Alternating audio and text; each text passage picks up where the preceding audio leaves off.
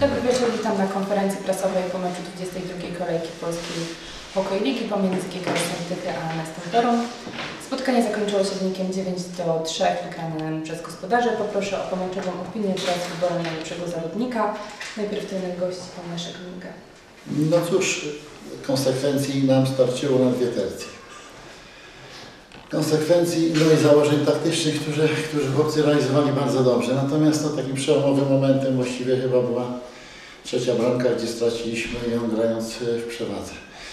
No ale z drugiej strony trudno się dziwić naszej grze, jeżeli ja mam sześciu obrońców, z czego trzech to są przerobieni napastnicy, prawda? A oni jeszcze przez ostatnie lata sporadycznie wychodzili bo byli inni zawodnicy. No mam troszeczkę kontuzji, jeżeli chodzi o obrońców, ale generalnie przez dwie tercje naprawdę mogę być zadowolony z zawodników, bo dali z siebie wszystko i przede wszystkim konsekwencja.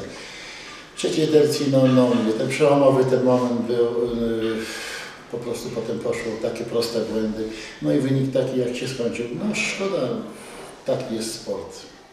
Lepszy zawodnik? U nas, czy...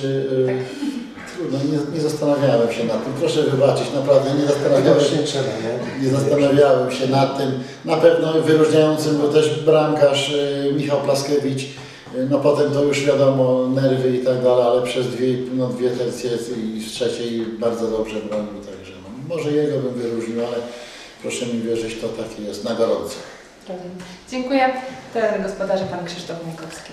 O, na pewno w pierwszej i drugiej tercji, w pierwszej i drugiej tercji coś dobrego o naszej grze nie, niewiele można powiedzieć.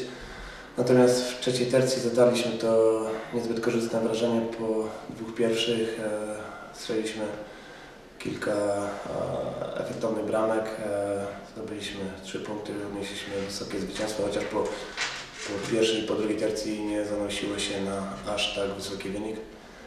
Najlepszym zawodnikiem naszej drużynie Filip Komorski. Dziękuję. Czy są jakieś pytania do trenerów? Jeżeli nie ma, to dziękuję za udział w konferencji. Kolejnej